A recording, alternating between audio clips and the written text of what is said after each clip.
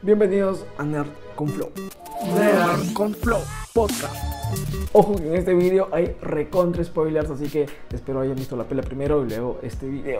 Hoy quiero compartir con ustedes mi opinión de La Mujer Maravilla 84. La primera cinta llegó en el 2017 y fue una de las mejores cintas de ese año. De hecho es un pelón, pueden checarla por Netflix. En esta secuela regresa el mismo cast, incluso está la misma directora Patty Jenkins, quien también, un datazo, ya confirmaron la tercera entrega con la misma directora, Patty Jenkins y Gal Gadot. O sea que ya próximamente vamos a ver una tercera parte de Wonder Woman. Desde el lanzamiento del tráiler estaba recontra hypeado, pero voy a serles sincero, no me gustó tanto esta cinta. Y aquí les voy a dar mis puntos de por qué no me gustó Wonder Woman 84. De hecho, el inicio es demasiado épico. Me encanta que hayan eh, contado un poco más la infancia de Diane, eh, profundiza un poco más la cultura. De hecho, uno de los deportes me hizo acordar bastante a la cinta El Dorado. Me hubiera gustado ver más de esta escena de Diane de su infancia, pero bueno, tomando el punto ya de la trama en sí, es bastante tranqui, tirando para flojita. Y aquí tocando el punto del personaje Bárbara Minerva, quien es la villana en la pela, me gustó. Eh, hay un símil con el personaje de Electro en Amazing Spider-Man 2. De hecho, ambos son medio freakies nerds, pero en Electro, el The Amazing Spider-Man 2, es muy caricaturizado. Minerva es mucho más humana, mucho más natural, pero ya cuando se convierte en la villana, pierde interés. Eh, hubiera sido cool, interesantón que desarrollen más este personaje. Y hablando ya del otro villano, pues innecesario, olvidable. Eh, los problemas se resuelven muy fáciles. Esta piedra extraña que te concede deseos, una especie de una lámpara mágica a lo Aladino, pues. Mm, y también un punto bastante extraño y forzado, que es el regreso de Steve. Demasiado forzadísimo, no puedo creerlo. O sea, si bien el dúo de Steve y Diane es súper chévere, faltó algo más, faltó un, fue innecesario creo yo porque lo traen y ya no saben cómo deshacerse de este personaje en la cinta. De hecho hay una conversación en la calle y Wonder Woman se va corriendo.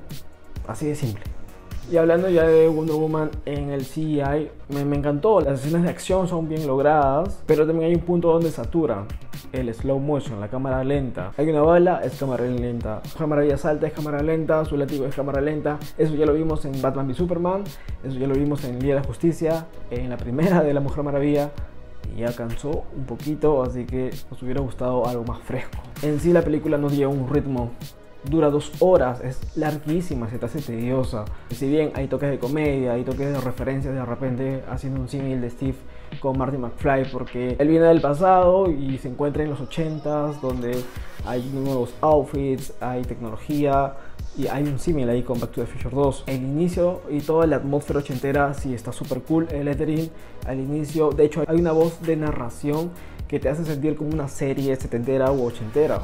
Eso sí estaba súper cool. Todo lo ochentero, todo lo retro, está bien. Si bien hay toques cómicos, la película se hace densa, pesada, un tanto aburrida. Hubieran explotado un poco más esta pela fácil y son las regrabaciones que creo que al final de la cinta existen. No sé qué hubiera pasado si esta pela hubiera llegado al cine, hubiera sido mm, fatal.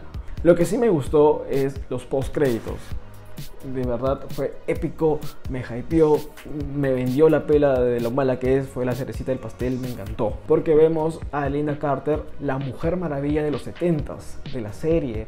Fue increíble verla en esta película, así que pues me compró con eso toda la película. Bueno, hasta aquí mi opinión de la pela Wonder Woman 84. Eh, cuéntenme en los comentarios si ya la vieron o no piensan verla. Voy a seguir creando contenido acerca de películas. El próximo video fácil es Cruz 2 y Soul, la última pela de Pixar Disney. Así que nada, a seguir viendo pelas. Espero les haya gustado. Si es así, denle un corazoncito, compartan este video en todas sus stories etiquetando a Darry McFly. Y conmigo hasta un próximo video. Que la fuerza los acompañe y un buen inicio de semana. Chaufa.